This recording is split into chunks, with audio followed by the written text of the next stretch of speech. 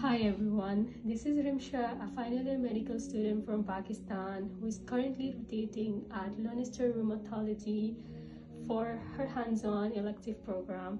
Today I'm going to talk about my experience, opportunities and the patient exposure I got to have during my rotation. First and foremost, history taking and examination. I absolutely got the chance to see the patient myself, uh, take appropriate history, do physical examination, which was then presented to Dr. Boss. The very unique thing about my rotation was having access to EMR. What is an EMR? EMR is an electronic medical record of a patient.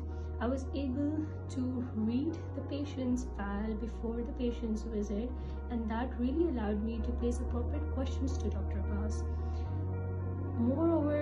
Was taught how to pre-chart a new patient or a follow-up and I was even able to pre-chart a couple of them.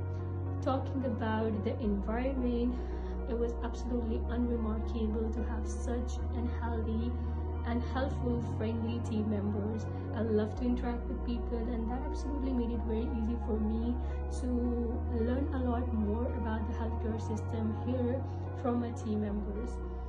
So if you're looking for a healthy opportunity to rotate, to have a clinical rotation in the States, go grab your opportunity and grab your chance at Lonestar Rheumatology. This is all for today. Thank you.